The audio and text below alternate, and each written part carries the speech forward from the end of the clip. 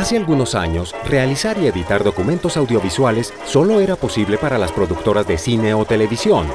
Hoy en día, con los avances tecnológicos y las posibilidades de Internet, muchas personas pueden hacer videos y divulgarlos a muy bajo costo. Imagina una idea en la que la historia de tu localidad sea contada a través de videos creados y publicados por los niños y niñas y compartidos en plataformas virtuales. Pues bien, acá tienes una. Paso a paso. Primero, convoca a los niños y niñas a la actividad y pídeles que vengan acompañados de sus padres para realizar un proceso de inscripción. Con un grupo conformado, dialoga y establece con ellos temáticas que quieran documentar en la localidad y sean de su interés. Puedes plantearles algunas ideas iniciales como documentar la historia de lugares emblemáticos del municipio, recrear los mitos y leyendas locales, entrevistar a personajes importantes de la vida pública, contar alguna historia de hechos recientes, entre muchos temas más. Segundo, realiza ahora un taller para darles pautas que den un orden para la realización de las grabaciones. Define con ellos una primera temática para documentar y ayudarles a identificar los lugares y personajes que le darán estructura a la narración.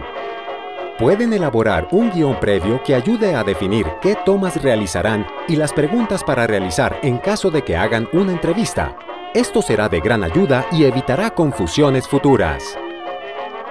Ahora explica a los niños cómo usar las herramientas con las que harán las grabaciones, tabletas, cámaras de video o fotografía o cámaras de celulares. Haz con ellos ejercicios para probar la imagen y el sonido, tanto en espacios cerrados como abiertos. Una vez llegue el día de las grabaciones, acompaña a los niños y niñas en la documentación de sus historias.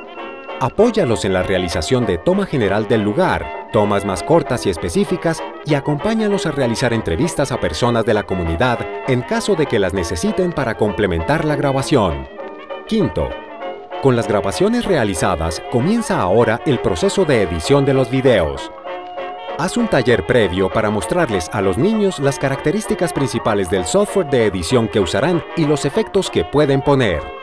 Motívalos a jugar e imprimir sus ideas en sus videos y no olvides pedirles que den un título y mencionen a las personas u organizaciones que ofrecieron su ayuda. Abre una cuenta y canal en YouTube o Vimeo y haz la carga de los videos. Recuerda poner títulos, descripciones y etiquetas claras y establecer la privacidad de los mismos.